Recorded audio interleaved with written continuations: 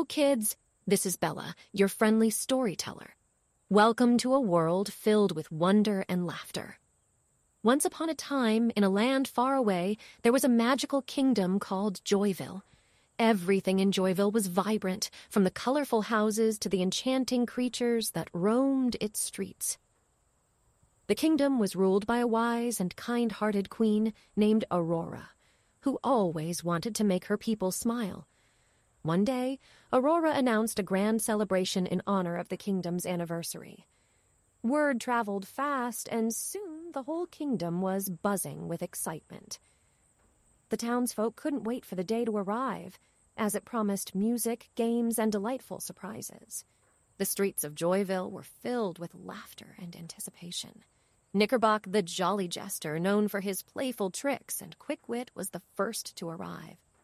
He set up his colorful tent and began entertaining the crowd with his hilarious jokes and silly stories.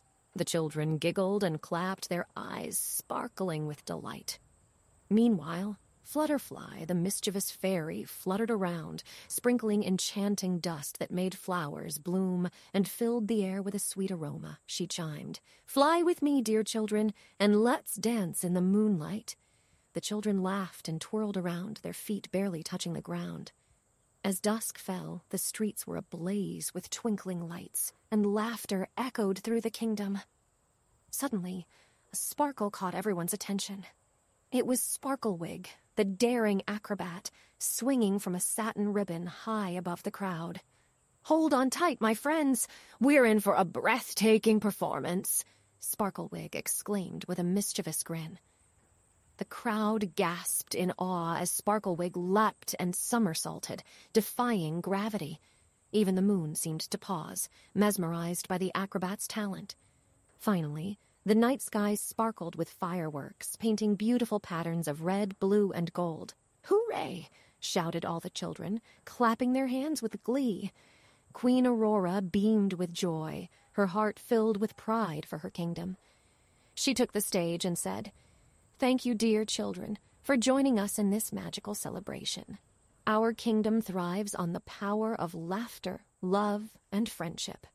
Remember, within each of you lies the magic to make the world a better place. The children cheered as they hugged one another, feeling the warmth of the kingdom's love. And so, as the night came to a close, the children bid farewell to the magical festivities, carrying within their hearts a piece of Joyville's enchantment. The end. I hope you enjoyed this whimsical adventure, my dear listeners. Until next time, stay curious and keep believing in the magic within you.